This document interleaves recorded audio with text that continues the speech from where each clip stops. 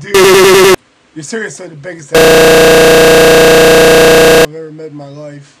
Just looking for some things that you don't have time because I'm moved to England. I haven't got to see any new episodes. Do stupid shit. I fucking moron, dude. I fucking dude.